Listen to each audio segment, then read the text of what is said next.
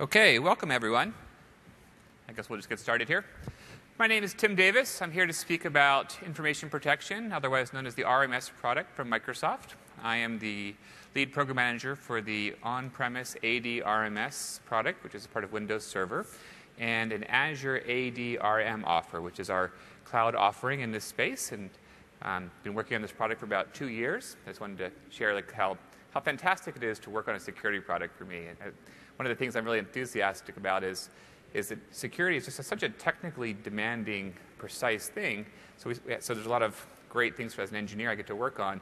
But at the same time, we're hugely investing in making it easy to use. Because one of the classic problems that we have is the more secure we make it, often the harder it is for our end customers to actually get access to the, the features. So it's one of the, the fun things for the last few years for me is kind of balancing how uh, a security product can work and actually how we make this an easy to deploy, easy to administer, and easy to use end user experience. So I'm going to spend just a few minutes at a very high level talking about what we're doing as a business group. My colleague Dan Plastina gave a more detailed presentation a few days ago on the RMS roadmap, so I won't spend too much time on that because I think many of you attended that session as well.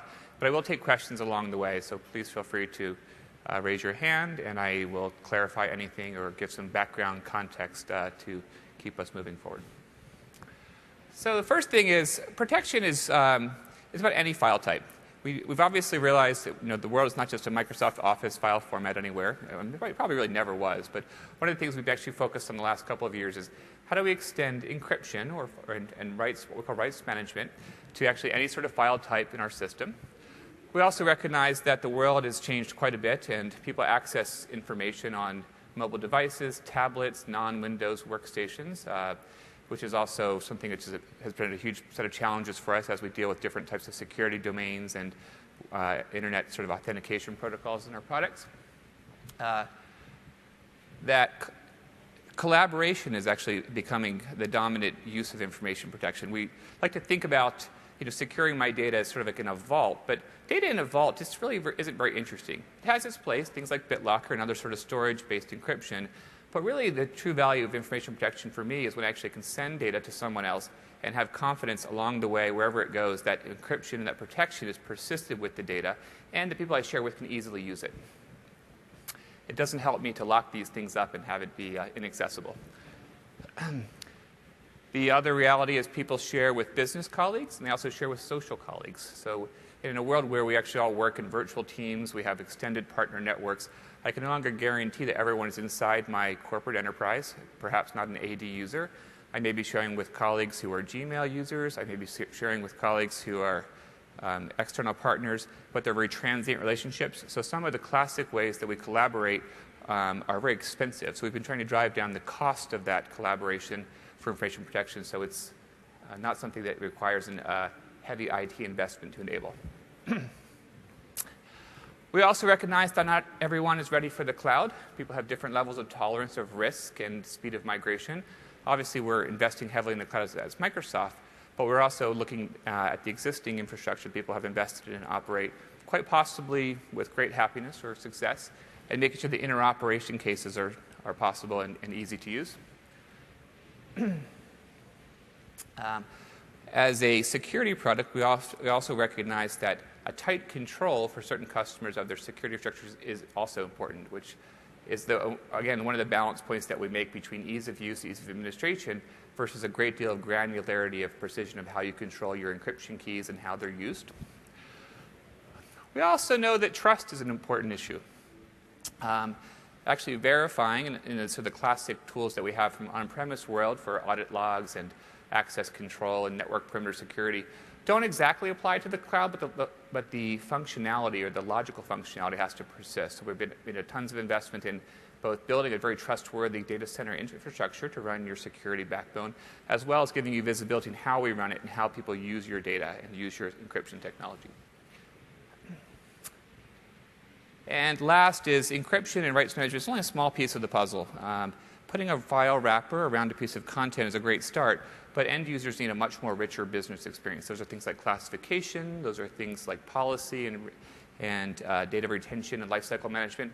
So, as a platform provider, we make sure that we have a breadth of coverage and that my partners can actually go in and build much more vertically oriented solutions that will be customized and relevant to your, each of your businesses.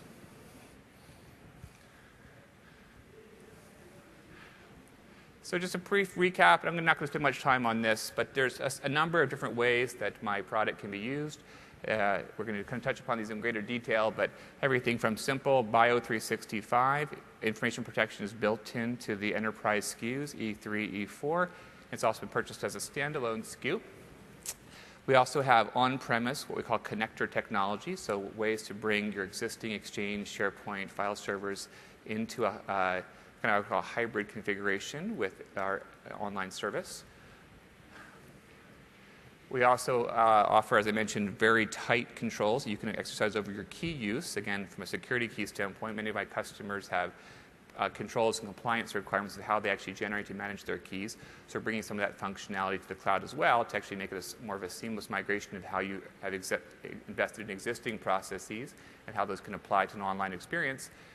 And we're also recognizing that uh, a, a, comprehensive solution requires uh, just generic file protection, as we call it, which means any device, anytime, this, these, uh, this data can be read, but still maintain the protection that's relevant to what you consider uh, important data. Oh, I'm sorry, my clicker is a bit funky here. Here we go. Okay, so particularly the session goals I have for today, I'm going to call it a survey, kind of a of all of the ways we actually can use ADRM or AD, Azure Active Directory Rights Management. And I'd like you to be able to feel that you can go back to your uh, work, uh, know what this is about, how to use it, look at the kind of the simple topology options that might make sense for you. As a starting point, feel that you can set this up, try it, and kick the tires, and hopefully use it for your uh, enterprise.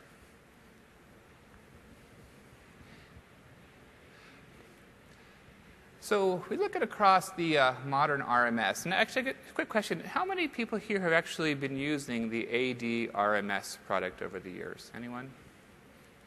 Just a few here. Okay.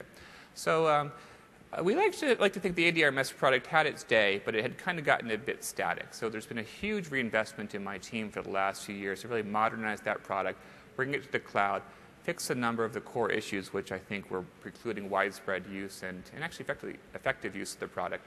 And then we talk about this modern RMS offer in, in uh, taxonomy of the workloads as well as the customer types of people who are looking at these things. Again, email, a very common and business requirement to actually secure my email, rights management, uh, classic things if you're from the do not forward type of operations at Microsoft Exchange, uh, limited distribution list, kind of a, a concept that hopefully is familiar to you. SharePoint, again, a con- is a content management system. That's the premier Microsoft workload, No365. Recognize that this is a key integration point. So if we look at the classic pieces for cloud hesitant customers, many of these workloads have been RMS enabled since uh, 2007 and 2010 in the Office products, as well as the Windows Server FCI product, which is a, a classification file server, uh, dynamic access control type of product. As we go forward and people bring those workloads to online, we actually have a way to mix and match these topologies and still maintain forward or backward and forward compatibility, if you will, with your existing investment and allow you to sort of choose the type of customer that you are currently at. Some customers may never go to the cloud in full. That's a fine topology for me. And I also have customers who are wholesale jumping right into O365 and kind of getting there as fast as they can and discarding their physical infrastructure. From my standpoint, I just sell information protection, so I'm actually happy that all those scenarios work.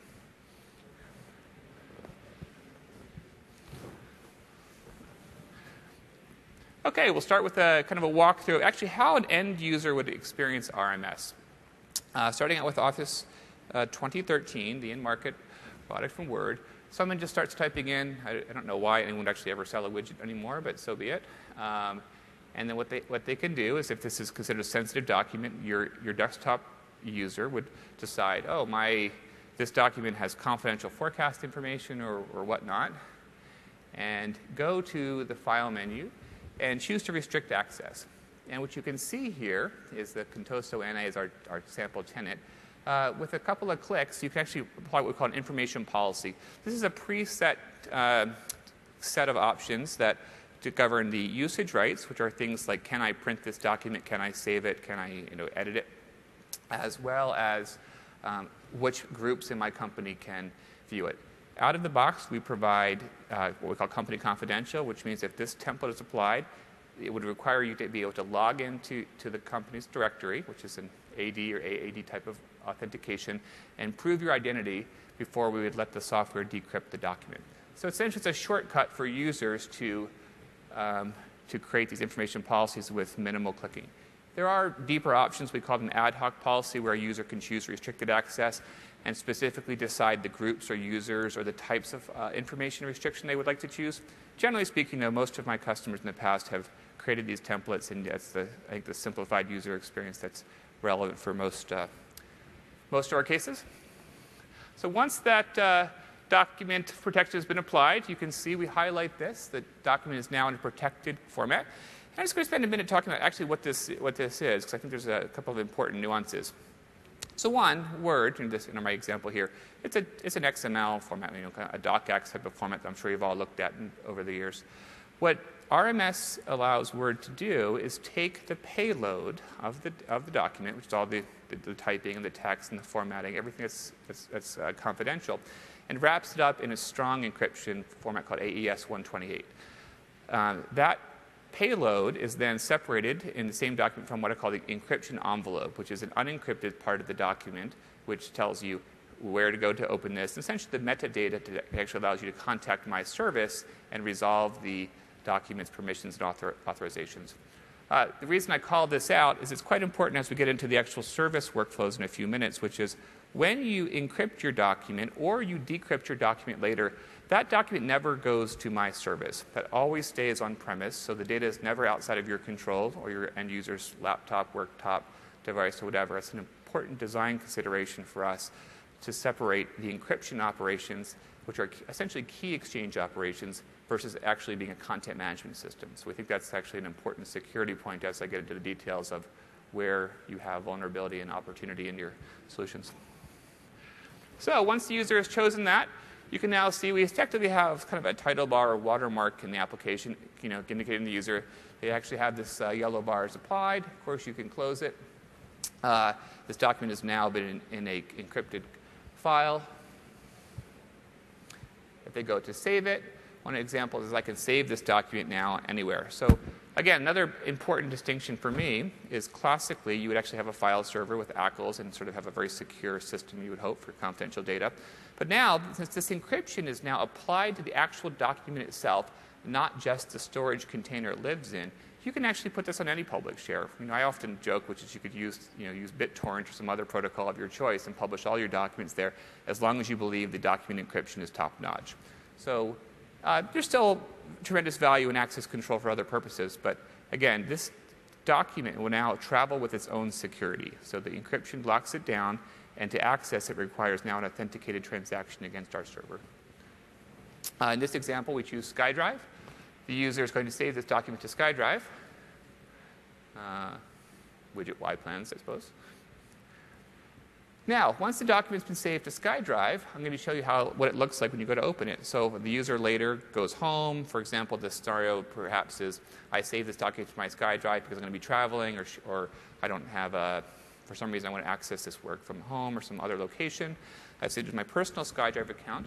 But when I log in, I'm logging into uh, with my uh, O365 identity. This is the Contoso NA account. I don't know if that was familiar to anyone, but the on Microsoft account are the, the default O365 business identities. I see my plan, my widget Y document. I go to open it.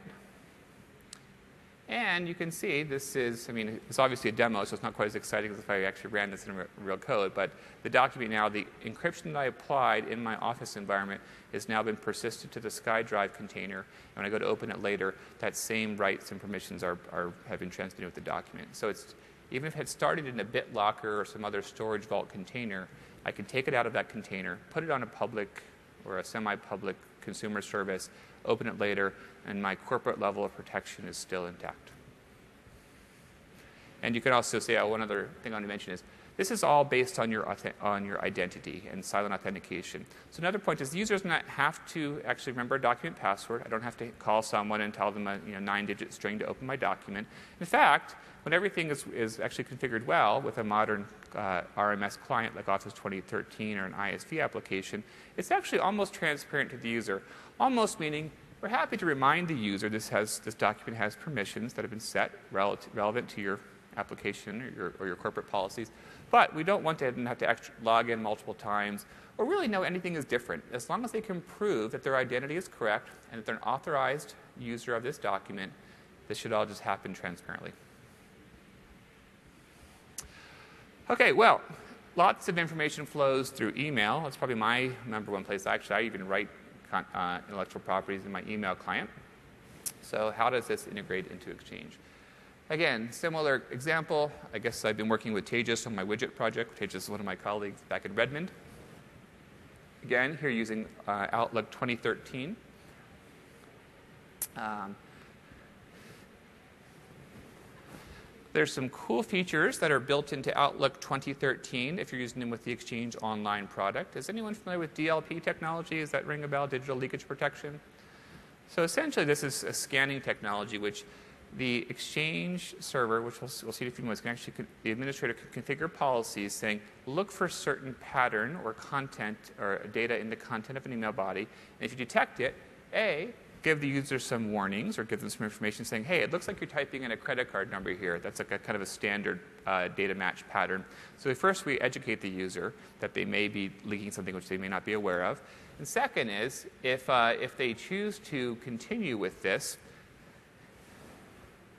the RMS protection is automatically applied by the client. So this is a fantastic scenario, which is one of the important things we believe is the less the user has to do to keep secure, the better. You know, there are users who are expert who have high value content they're aware of, but the majority of the time, we believe the user wants to do a good job, wants to keep company information confidential, but really is going to get their job done. So anything we put into what, in the way of that basic workflow tends to be a very high friction or a low success case. So we work with our exchange and office partners to basically streamline these processes and build it directly into the application stacks to, to uh, take it out of the user's uh, need to even pay attention to this and just help them with their job versus impede them in their job. And you can see here the, uh, the DLP rule that the administrator has created automatically applies a confidential template to this document. And it is uh, the other piece of, I don't know if it's clear from this slide, is this is also integrated into Exchange directly. So from Microsoft OWA, or excuse me, uh, Outlook Web Access, the information protection is still uh, intact. So access your documents from OWA, from you know, whatever location you want. And if you can authenticate and see, and you have permissions to this content, this email, you will get the correct experience. And OWA is a web browser experience. So we have different levels of, I'll call sort of security assurance. We put this into the administrator's control. So I have customers, some customers who choose to disable OWA for uh, protected because they don't consider the web experience to be sufficiently strongly protected. Other customers consider it uh, a perfectly fine scenario for their users. Okay, the other major workload for Microsoft, Microsoft SharePoint, um, also IRM integrated. Uh, we call them secure document libraries. So any document library in SharePoint can be configured to be uh, part of the, um, the RMS protected domain. You can go to, as a SharePoint site administrator, you can go to your site and you can see that every file in your site can actually automatically have, so every file in your document library, if you enable it, can automatically have this RMS protection enabled. So the user will be warned when they're looking at a document online, they go to the, like a, a browser experience, They'll open up a document. It'll open up what we call the Web Access Companion or the Web View, and will remind the user that this is a protected piece of content. If they want to edit the document or make changes, and they have permission, of course, we actually have them open it in Excel, so the editing experience launches the rich client browser. And that information is persisted, again, as the document leaves the SharePoint library and is synchronized or downloaded to your clients, that encrypted container still goes with the document, so the document still lives in the strongly protected rights management object, and the permissions transmitted again, so the document has never left the data center in an unencrypted encrypted or clear text format. So the protection started out in a secure data center and left the data center and, and arrived at a client, all with the security maintained. Okay, well, how does this work? We call it Azure ADRM. Um, it's kind of a mouthful. We call it ADRM. Unfortunately, I'm not the marketing person who named it, but that's what, I, that's what we have. Um, uh, today, the way we actually ship this product, it is an Azure service, but the first place it really shows up for most customers is part of the O365 suite. As mentioned earlier, this is part of E3, E4. If you buy those SKUs, you automatically get it as part of your, your subscription package.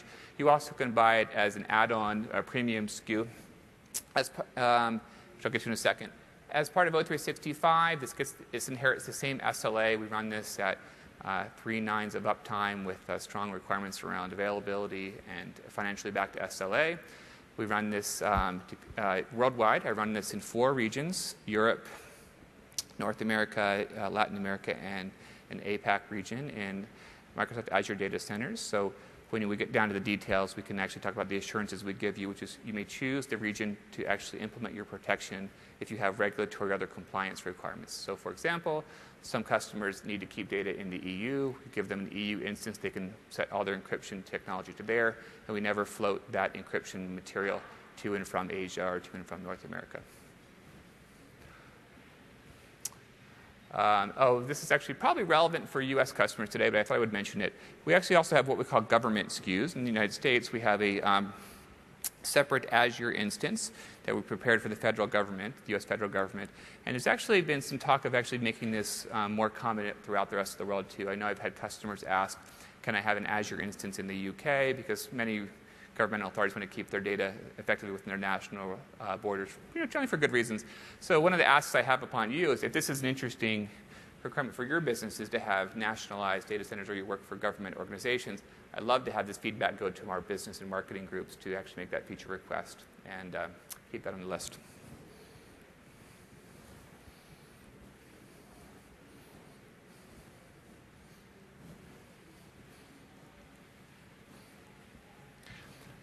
Okay, so now, as I talked about, the ADRMS product I think first launched in 2003. Uh, and starting in about 2010, we really decided to fundamentally modernize the product and bring it to the cloud. So we have this trajectory of sort of the topologies, as I described them, of how this can work on, in both pure cloud environments as well as mixed environments where people have existing IT as well as for customers who are not quite comfortable with pushing too much data to the cloud in ways that can still enable secure collaboration and bring some features even to extend your existing functionality without fundamentally re-altering your IT practices.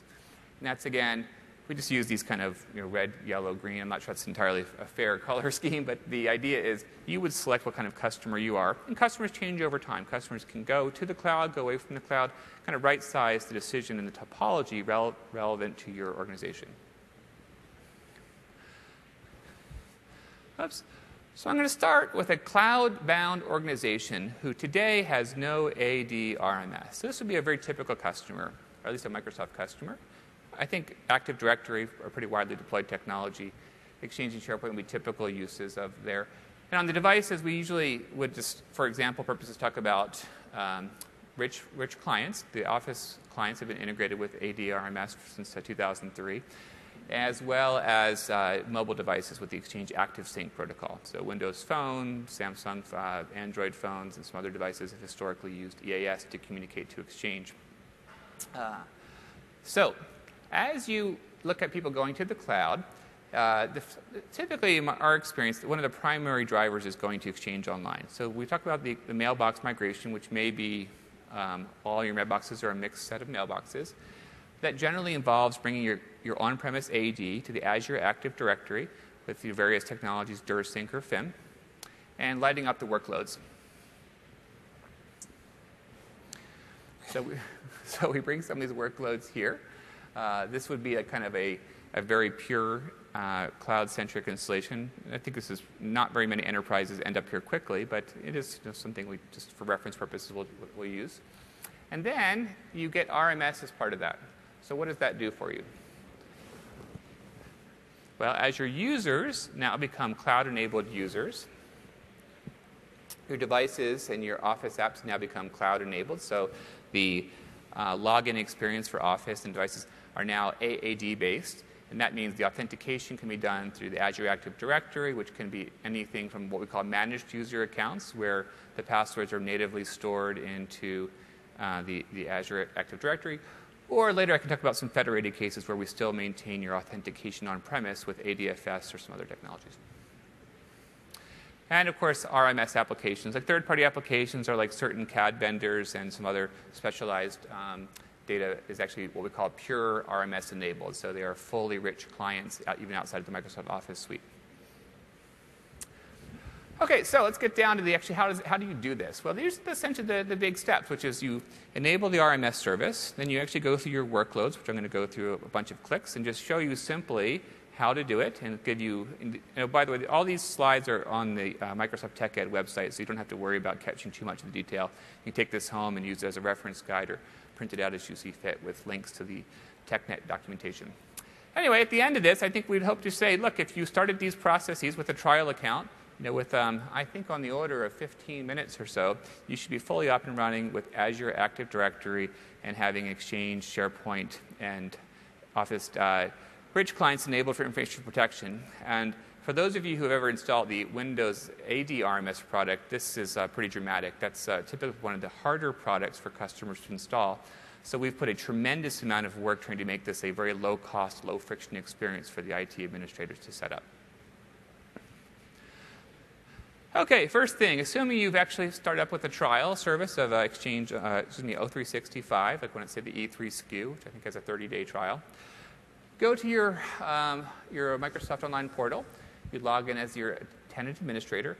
And down in service settings, you can see the, the standard workloads, mail, Lync, uh, whatnot. Choose rights management, manage. This is all a single sign-on experience. It takes you to a dedicated page. We start out the product as unactivated. Since it is an enterprise product, we generally require the customer to go ahead and actively enable it. And we give you a, a, confirmation dialog with a little bit of education, which is this is the foundation for using it with Exchange Online and SharePoint Online. Magic happens. There's a set of workloads. This usually takes um, perhaps 15 to 30 seconds. And there's a secure transaction which starts out using your administrator credentials, passes to our Azure service in a secure, um, authenticated manner, enables the appropriate settings, and then we actually provision your tenant key material, which is basically your encryption keys now get provisioned inside of my service in our secure data centers. And hopefully within a minute or two, it brings you back to the dialog, which now you're good to go. Um, and again, this is, you know, I'm not sure it's quite one click, but I think within a few clicks and, you know, on the order of a minute, versus I think setting up an AD RMS product would probably be on the order of several hours to a few days, depending on the complexity of your environment. It's one of the huge advantages for us of using the Azure Active Directory as well, which simplifies the configuration tremendously for these products. Now, SharePoint Online, you are a site, uh, site collection administrator.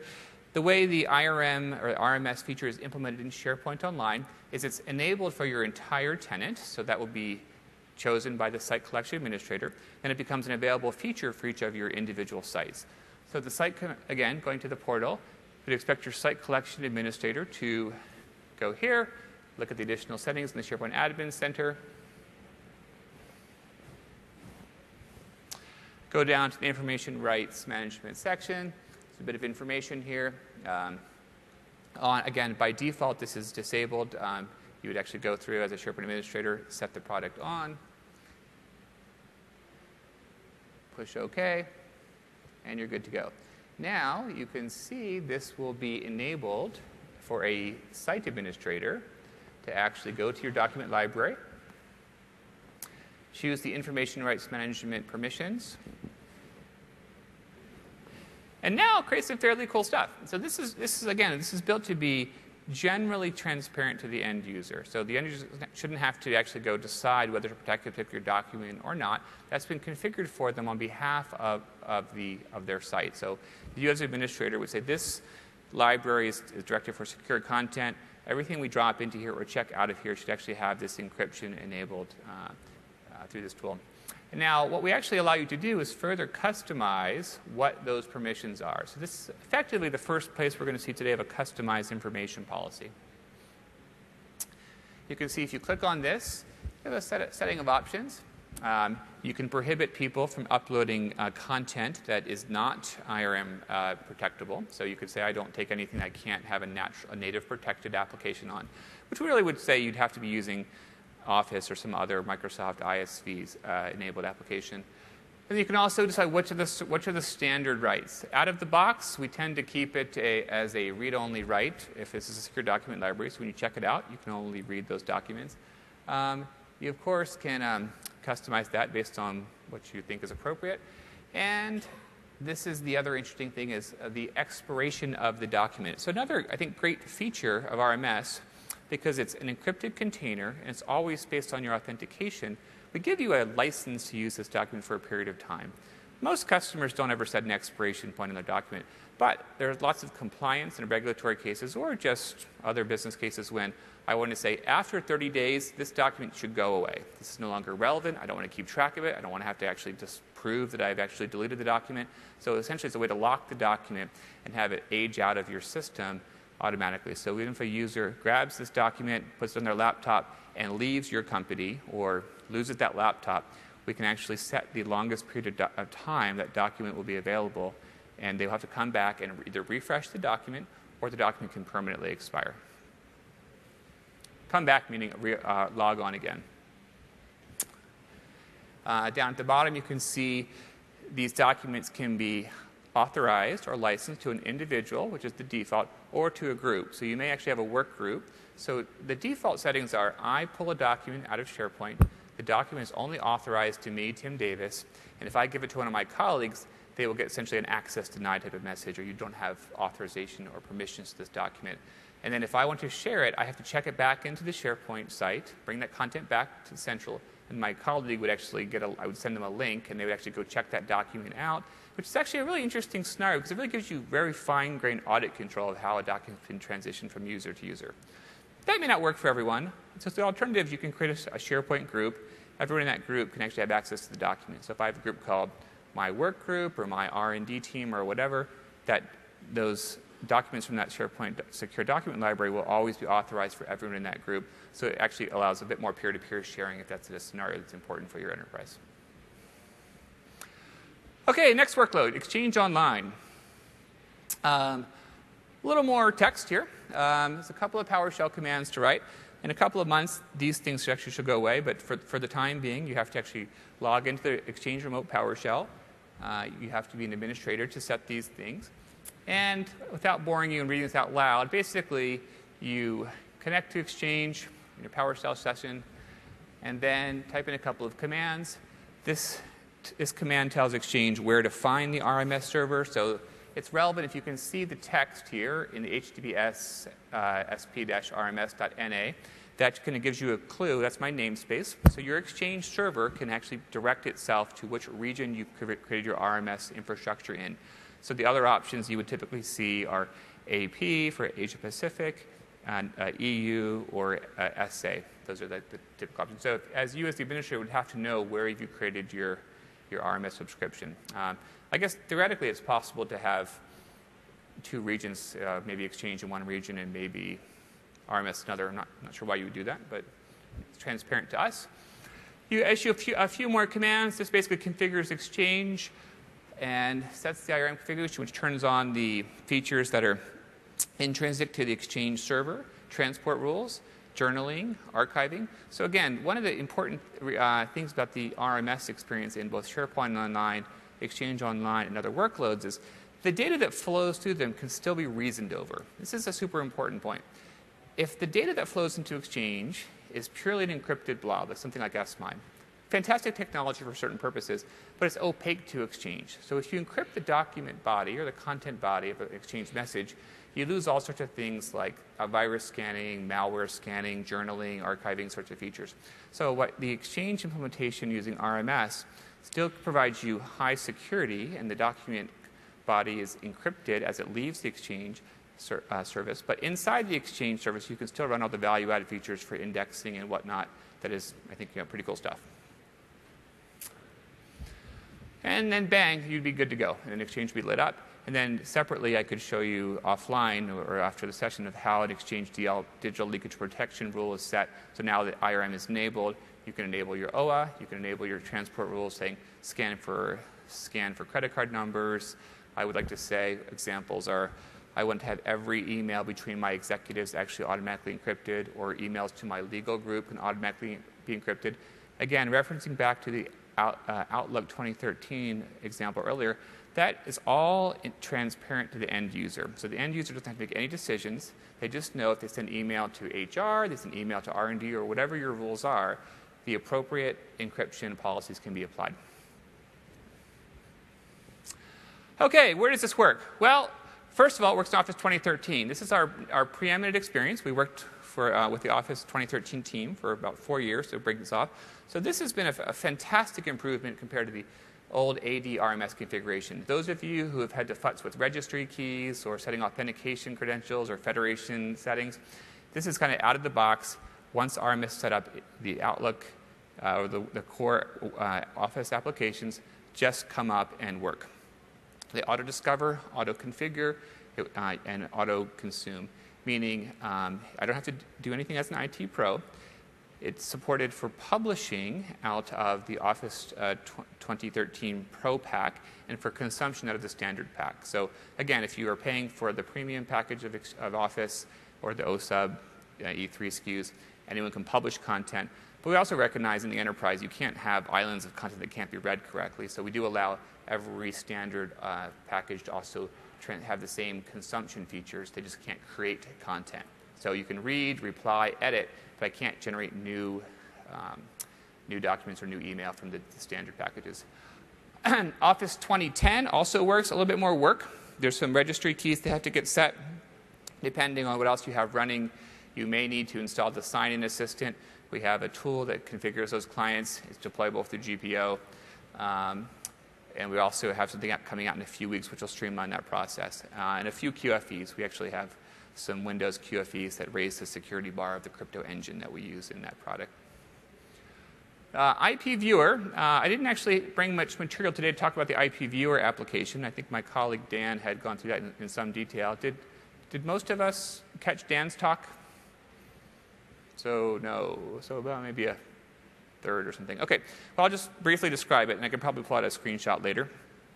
IP Viewer is a new application that we've created in our team that actually IP Viewer, an information protection viewer, allows you actually a bunch of features to actually protect content directly from a Windows or actually one of our uh, six supported mobile client platforms as well. So the, the, exam- the, demo I showed you earlier was an Office or a Word and a um, Outlook demo. IP Viewer is a standalone application, download it for free, and allows you to right click, take any file, and protect it into the RMS system. So text files, uh, JPEG, XML, um, CAD files, whatever's CSV reports, whatever's relevant to your company, users can still add protection even if the native application doesn't support it. Uh, we're also bundling some of these um, QFEs and, and, registry configurations into that tool. So when a user downloads that and deploys it, they'll just be done. They won't have to go through and manually tweak any reg keys after that. Okay, well, how do you get it? Well, it's a trial account. It's free. It's free for 30 days. Um, I hope that it's pretty easy. I think the online experience for creating user accounts and setting the IRM plan should be uh, a couple of clicks here. And uh, oh, I, I, actually want to put upon a key point too. One of the other fantastic benefits of AADRM compared to ADRMS, which may not make sense unless you've tried it, is cross organization collaboration. It's a fantastic new feature. So out of the box, for two companies who are both O365 users, you know, my standard example is Contoso and Fabrikam, now they can exchange secure, protected information without any IT Pro configuration. In the old days, in the Windows AD RMS product, you needed to do something like an ADFS trust, which is frankly pretty expensive, or there were some specialized configurations available in the ADRMS product, which we called trusted user domains, which was essentially a way of like a PKI trust exchange for a signing key. Online, we enable that all by default. So out of the box, if you want to collaborate with a partner company, you specify them. I'm Tim at Contoso, and I'll say my colleague Nancy at Fabrikam.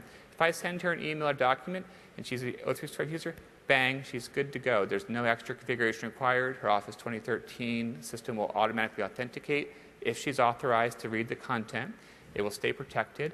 And you, as the IT pro, get to track all of this. So I'll talk about it in a minute, but we have detailed usage and tracking logs that we collect in the service. So you can actually watch the information flow throughout your company, even to partner companies, which I think is actually pretty cool. Um, another important feature is that is uh, not that is actually built into Office 365 tenants for this cross-tenant collaboration.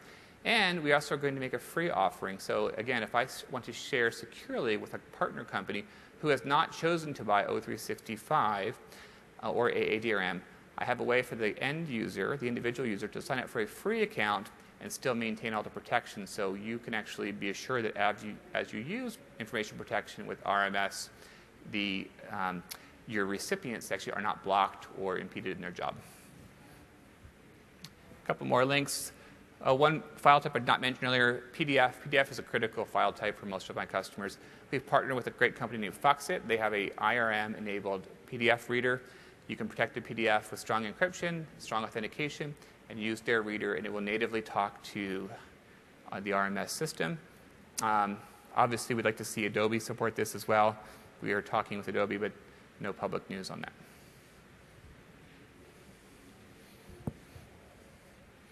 Any questions so far? Okay. All right, now let's talk about a, um, a company that actually is, uh, has some on-premise infrastructure, which is probably virtually every single enterprise that would ever would be interested in using us. And we have a technology we call the connector, and I'm going to show you how this works and what it does for you. So, my, my build order is a bit odd. So starting out with a very classic AD, you know, Exchange and SharePoint Online. I actually have Azure Active Directory. Virtually everything we do in the Office 365 or the enterprise suites really requires you to federate to Azure Active Directory. That's actually free. You can actually get a free account now synchronize your directories. There's a tool called DirSync, which is a couple of button clicks. Can, I think the latest version even can run on your domain controllers if you, as you see fit. And basically, get uh, a copy of your users, groups, and other objects, properties, and synchronize them to the Azure Active Directory. Or you can run FIM and actually have a much more sophisticated experience to only select differential properties or run more complex filtering rules if, um, if you are interested. So we ask customers to federate first. That is free. You get free Azure Active Directory tenant. And now, RMSO is purchasable. You can actually buy as a standalone Azure SKU. You actually, you do purchase, purchase at the O365 portal. It does not require any of the other services. It does not require Exchange Online or SharePoint Online. It basically costs about two bucks a month per user, uh, and that's, uh, that's sort of the, the list price. Okay, what happens? Well, now, just like before, all of your apps start lighting up with cloud experiences. That the first thing that comes in the cloud experience is your Office, uh, Word, Excel, Outlook, all can now have cloud identities, so you can log into the cloud. In this particular case, I didn't draw the diagram out, but this is an important point. You are not required to push your passwords into Azure Active Directory. You can have the option of what we call password sync, or you can run ADFS. And I'd say it's a good mix of customers who have either password sync, and that's actually a relatively new feature we've launched a few weeks ago, but the adoption's been pretty fantastic. People who choose to do ADFS for on, authentication back to on-prem, I actually have a surprising number of customers who decided to maintain dual identities. The names will be the same. I'll have tim, tim at contoso.com for my uh, on-premise AD identity. I also have tim at contoso.com as my online identity, and the user will be responsible for remembering their passwords in both places, assuming they probably make the same one up. Now, the connector, what does the connector do? The connector is a lightweight on-premise role that we, we have created which basically allows your on-premise Exchange and SharePoint uh, uh, processes to talk to the cloud as if it was an on-premise service. So it handles your authentication. A, it presents a similar security signature to any of the other Kerberos or NTLM-based server authentication on-premise, and it essentially proxies those calls from Exchange on-premise to my AADRM service. Uh, I'm going to get to it in a few minutes. It's a couple of button clicks. It's probably 10 or 15 button clicks, but it's a, it's a seamless walkthrough. It doesn't require you to create any new accounts in the AD. It basically lets you utilize the existing domain or security groups created for the SharePoint and Exchange on premise and connect it to AADRM. So, well, here's the summary. Uh, it's, it's effectively an IIS web role. We recommend you run two of them in a sort of a DNS load balance configuration just for high availability, but you can run one to n as you, as you prefer. A big difference for those of you familiar with the AD RMS product is this is for the entire enterprise. You do not have to run one of these or two of these per AD forest. This is as many as you like. So this can handle all of the central configuration for one or more resource forests. Uh, there's a few QFEs that we need you to apply to your Exchange and SharePoint uh, 2010, 2013, and some registry configuration. We make that as painless as possible. Uh, an important point here is your end users, Office, desktops, ISV enabled applications, still continue to talk to the cloud. So your on premise server boxes will use the connector, but your end users will actually roam to, or roam's the wrong word, still connect to the AADRM service, and that way you get the full benefits of all the collaboration features. So dropping the connector into your network, and it lights up the Exchange and SharePoint on-premise versions of the features I just showed you. And now, if I share content to my partner companies, they still connect to the cloud. I still get all of the AAD-based federation benefits for authentication and sharing, or secure, secure sharing, without having to touch my ADFS or AAD infrastructure. Oh, I think I got ahead of myself. This is how it works. And the two uh, the SKUs that it runs on are uh, Windows Server uh, 08 R2, and the um, the CPU burdens are minimal. All the computation for RMS is done either on the Exchange server or in the cloud. So this is just basically a, a pass through. So you can use a, a VM or a, a relatively inexpensive box. Okay, recap um, how this works. I'm sure you can read this, but federate, enable, install, and config configuration in roughly that order. And that's just what I've already mentioned. Okay, well, there's actually a talk that I think is going on um, concurrently to this one for how to actually um, set up DirSync and federate. So um, if this is an interesting thing to you, there's lots of online documentation. The directory synchronization team has put a ton of work in the last several months making that process also simpler. It used to be DirSync was a fairly complex process. We've been chipping away at that pretty aggressively over the last year. Microsoft strategically recognizes federating to the cloud needs to be super painless, super low friction, super cheap, and super secure. So that team is highly, you know, highly chartered to uh, make those experiences great. Okay, uh, I'm not going to bore you with the details. Setting up the um, connector topology is basically the same as we had it before. You go and enabled. Same process as we just went through for the full O365 workload. Uh, workload. Here's what the connector setup program looks like.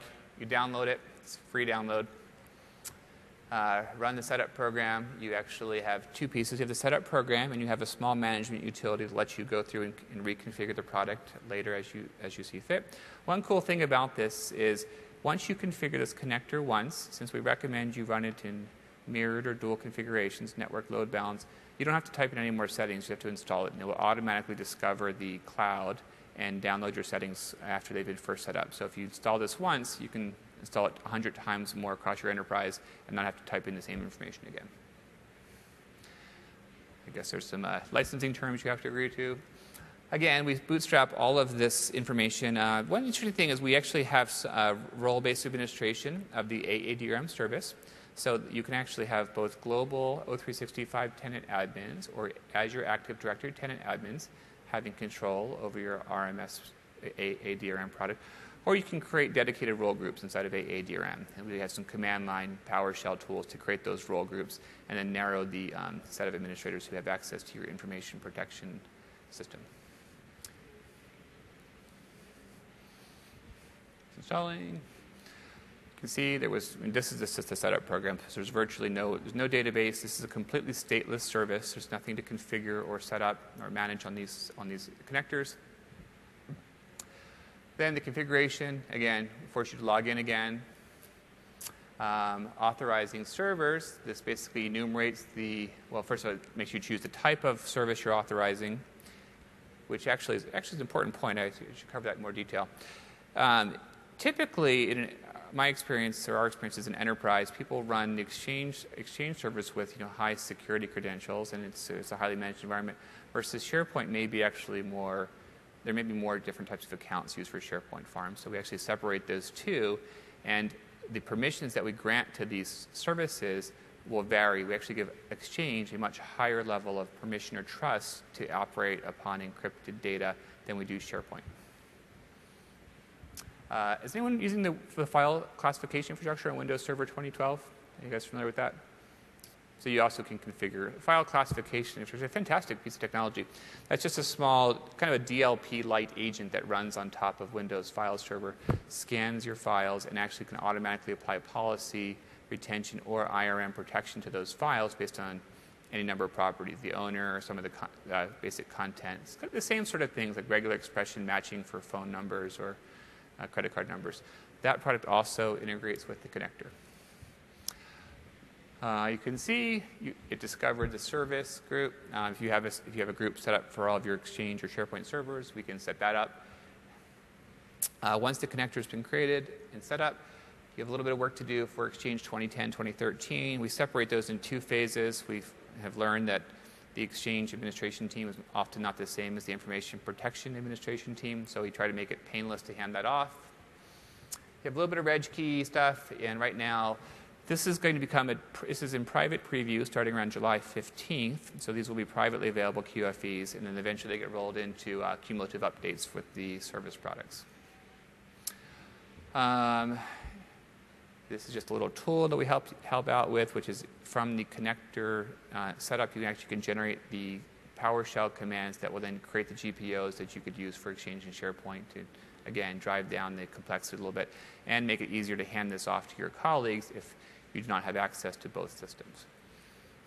Uh, important point, this does not require any AD schema modifications. That's actually another thing we optimized out to further drive the friction down. Um, configuring the Exchange system, this should look pretty familiar with what we showed earlier. This is Exchange on-premise, so you don't have to do quite as much work to actually enable IRM, but logically the same.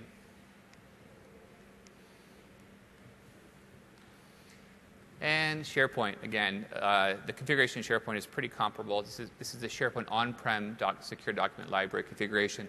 So there's some other different options, but in this particular case, you can accept the defaults and you should be good to go. All right, now, cloud hesitant uh, enterprises without uh, IRM. So this is actually a pretty interesting case. Um, how many of you use hardware security module technology in your uh, enterprise? Okay, one, two, okay. So typically, people will use this who use ADRMS, or much more commonly, people who run their own certificate authorities, their own CAs will often be hardware backed um, for high security PKI installations. Some customers have high, high bar requirements around how their keys are managed. They may have compliance policies or key, key generation policies, or they may want to share keys across different uh, applications. From my standpoint, a key is just a piece of crypt- a cryptographic string. So if you want to generate your own cryptographic strings, that's, that's great. We just have to have a certain key length and randomization. And if you want to do that and never actually let me see it, we're happy. Hardware security modules, just another bit of background. They're actually fantastic pieces of technology. They're either standalone appliance type of boxes or typical PCI based plug in cards you can put into a server. And they're essentially sealed silicon. They have a, a processor, memory, and a cryptographic engine, usually put in some sort of tamper proof epoxy that if you try to pull off the memory or, or, or uh, do something inappropriate, it actually sort of self destructs. They're actually acid packed often, so the, the chipset will just melt down if you peel back the epoxy. They're generally also pretty expensive. so, what we allow you to do is if you are a cloud hesitant enterprise who has no RMS, but you don't necessarily trust that Microsoft should ever see your, your tenant keys. I can go on and on about how secure we keep your tenant keys inside my data center and how there's operator installation. And me as an engineer, I could never touch any of these things. I don't have any permissions whatsoever to operate upon the data center. But some customers want an even higher level of assurance. So we actually let them or ask them to buy an HSM on their premises. That's a box. We, we typically use Thales. There are some other vendors, but to work with us, you, we require a Thales box. Uh, it's, a pretty, it's a worldwide company. I think it's 60,000 employees. Uh, I don't have much material on the Thales piece, but we do have a, uh, lots of background on, on, on their trustworthiness. Create your key in your HSM on premise. Purchase the RMS Online subscription, like just what we did before. And there's a way to actually specify, and I'll get to it in a few minutes, of actually what we call a uh, BYOK solution for a bring your own key solution. So we actually allow you to bring a hardware backed key to our hardware backed uh, key management solutions.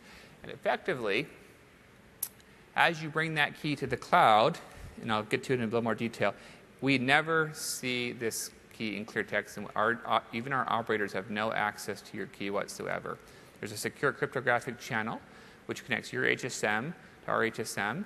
We have um, a, a, separate vendor who documents that as a secure channel with no access to the decryption, the root decryption keys for you. And then all of your crypto operations happen in hardware. So when we actually access your content keys to generate on your behalf, it goes into a sealed hardware module.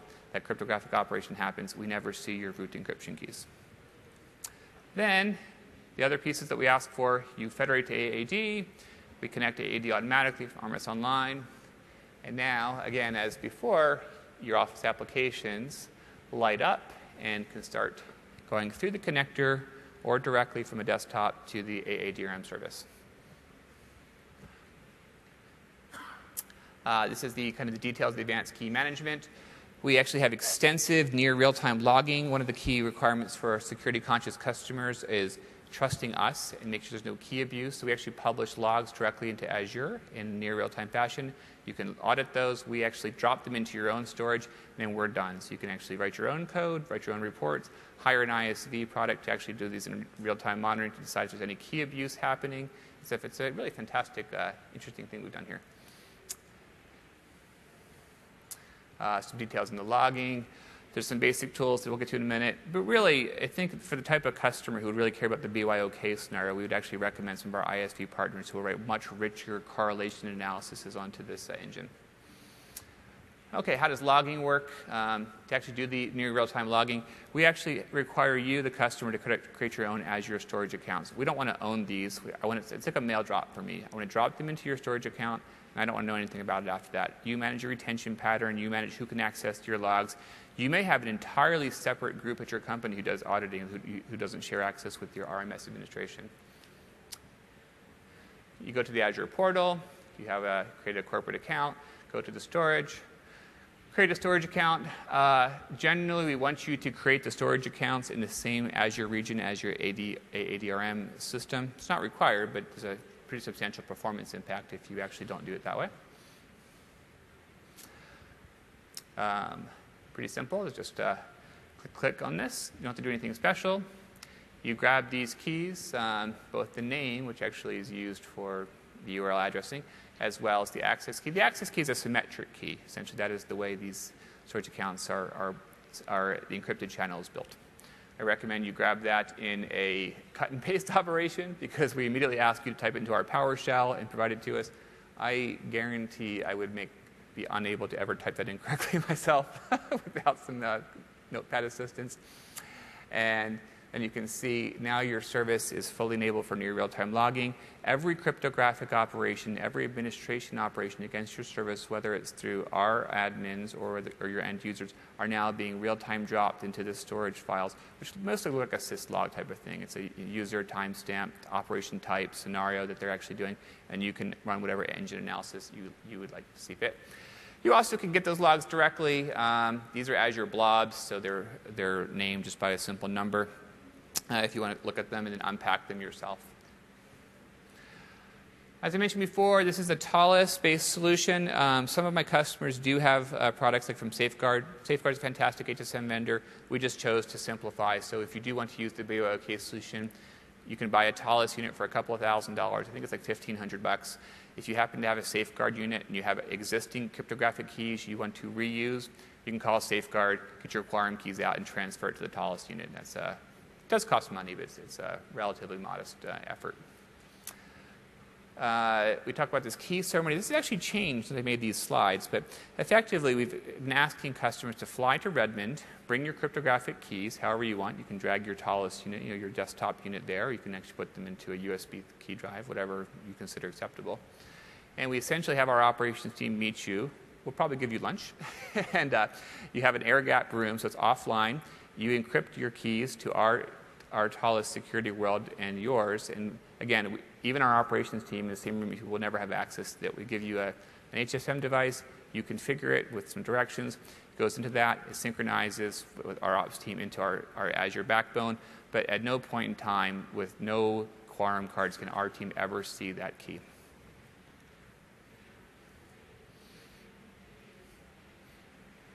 Uh, oh, what I mentioned is um, we've made some improvements. I don't think it's documented yet, but I think we've been able to now enable this BYOK scenario without actually flying to Redmond. So we actually give you some tools to run this operation on premise at your own offices. So you don't get free lunch, but you don't have to fly anywhere. Uh, these are some Thales commands for creating security worlds. Pretty ugly. Um, I won't go into the boring details unless anyone's really curious. But basically, uh, HSMs are you know, cryptographic devices that are basically based on PKI. So these commands are issued against your own HSM that you have purchased, creates strong security. You can see we require 2048-bit protection keys in your HSM, uh, uh, overhead command to um, configure it in a way that we can then use to our software will interoperate with it. And the key transfer is actually how you then take this key from your HSM and synchronize it to our HSM, which is our operator team can use. One thing, I think we have some materials about this. Which it is very important, if anyone's considering this, to not lose your key. I kid you not, if you use a BYOK scenario and you have a fire, you someone leaves, they don't back up your key on premise, uh, I cannot get that back for you. So you will have a world of unreadable document data if you lose your own key. So that's one of those things we, we go through some extensive contract language to really remind customers they have an obligation to, to not do that. It's, it's uh, by design out of our power, which uh, frankly kind of worries me. I'm, sure if this does happen someday, there'll be some pain for everyone involved.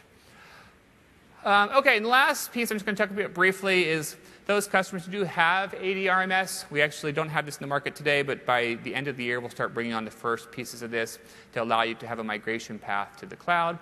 Uh, there are features that we're actually building into the cloud only product that we're not bringing back to the ADRMS product, notably the secure collaboration, notably the mobile device access that you, we require ADRMS customers who want those features to essentially federate to the AADRM instance. That's, that use, relies upon the bring your own key scenario, and it relies upon a few other pieces of technology to allow you to um,